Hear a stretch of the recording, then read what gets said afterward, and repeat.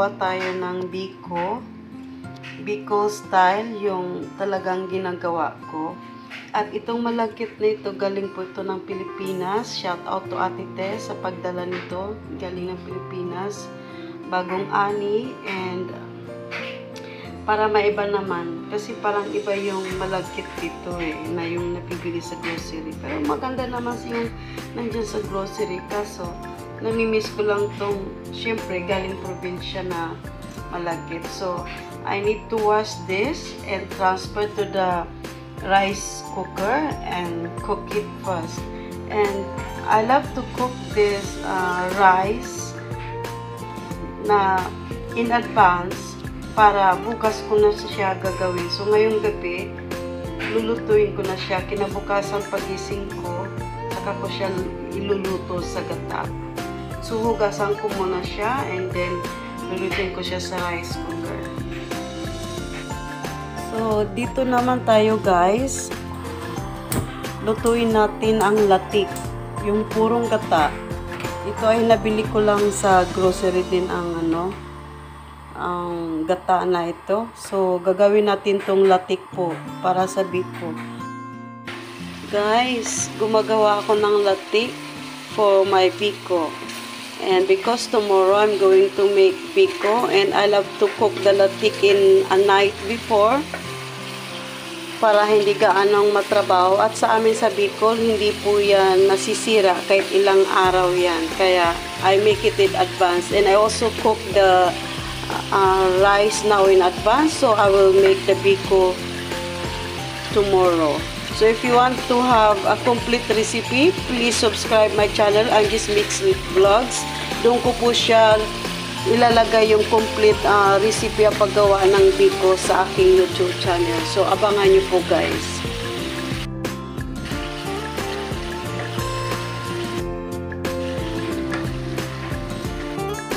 po siya, i-strain na natin siya sa mantika para para i-separate na natin at itago na natin para bukas.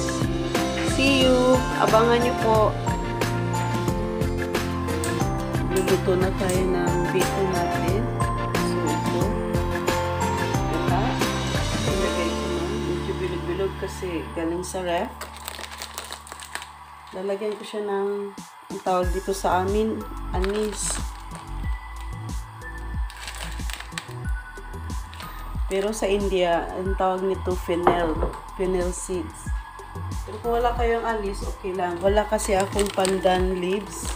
Kaya, so, lagyan natin ng asukal.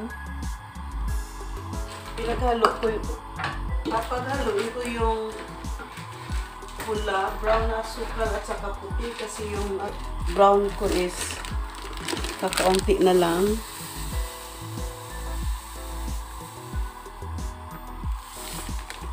2 cups po siya.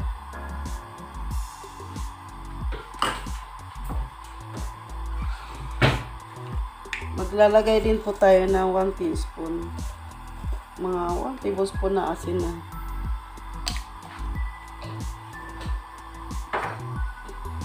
Tapos po, ilalagay po natin yung kunting mantika doon sa latik.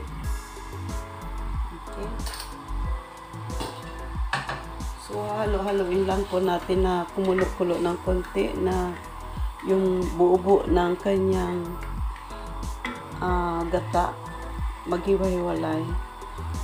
Pag kumulo na siya, lalagay natin yung kanin.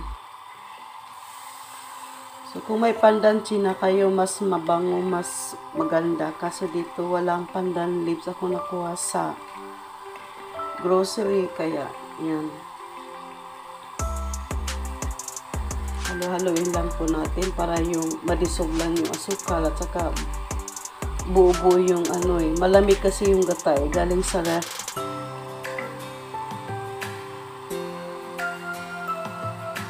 So, halo-halo lang. Ganun.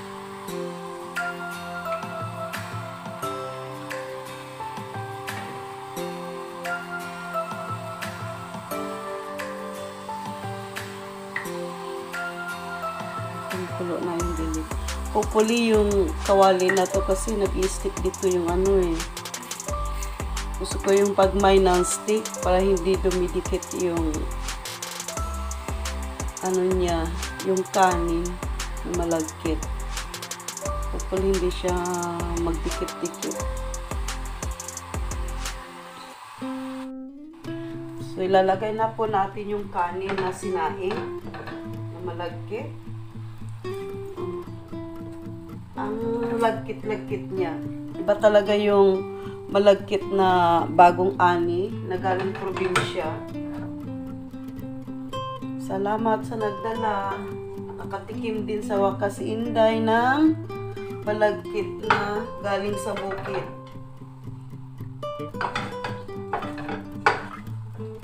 Okay, so haluin lang po natin siya.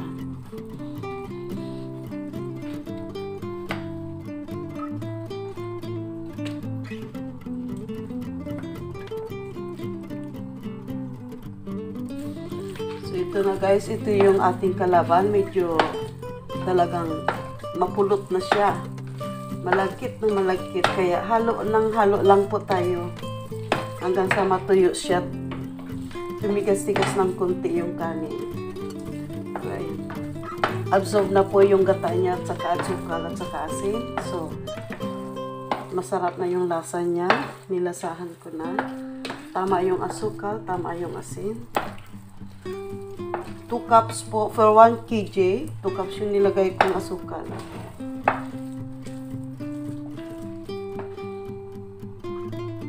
So, ito guys ang ating kalaban pag sa malagkit na biko.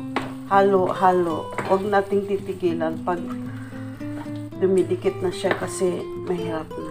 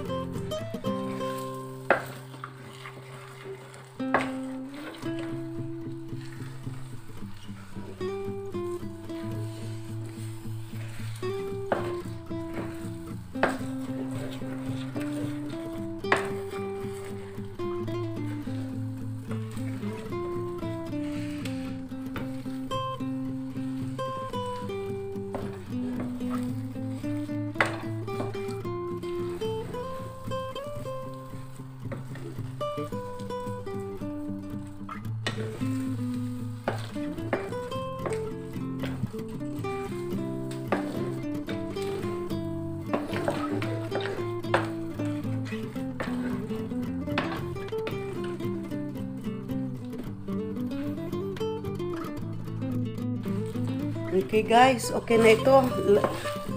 Hay na natin. Malagkit na malagkit na oh. Pulot na pulot na talaga.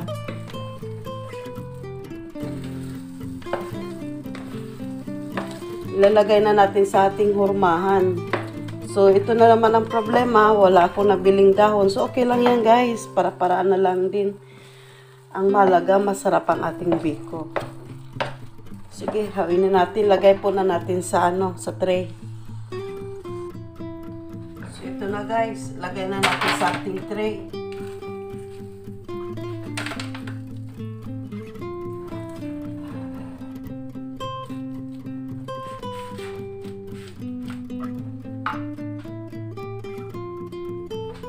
So, gaganon pantayin lang po natin guys.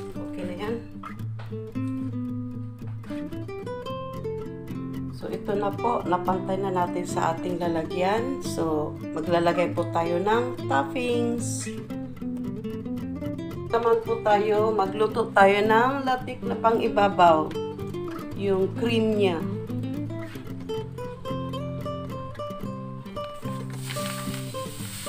Asukal po. Mga 3 quarter cup lang po yun. Mga 1 cup na gata lang. Ito yung tira to na gata. Galing sa. Medyo malamig. So maglalagay din po tayo ng asin.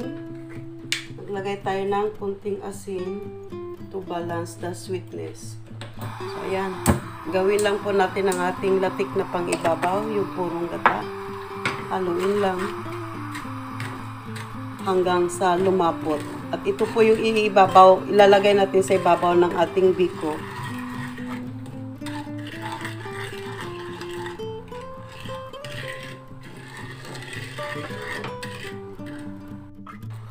Guys, ayan, medyo lumalapot na siya. Kulong-kulo na siya kanina. At ngayon, oh. Palapot-laputin pa natin ng konti, guys.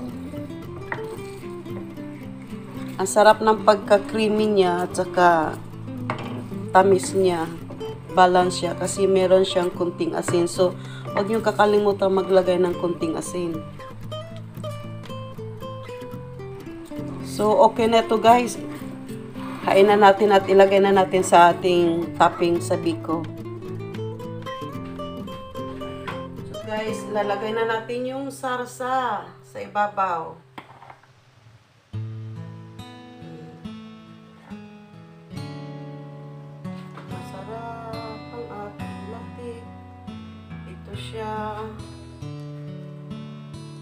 Lalapot din po lalo yan mamaya ng konti pag lumamig siya. Ito yung gusto ko sabi ko guys, yung may latik guys sa ibabaw. Kasi napakasarap niya talaga. So ayan guys, yung meron na siyang sarsa sa ibabaw na latik. Ayan. Tapos ibubod na natin yung ating tinanggal sa latik, yung namuon, buo buong, hindi ko alam kung anong Tagalog niyan. Pero sa amin ang tawag niyan, mahamok.